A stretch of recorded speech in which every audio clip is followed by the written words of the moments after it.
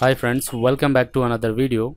Today in this video, I am going to tell you 10 lines about Amartya Kumar Sen in English. So it is very simple. So let's start the video.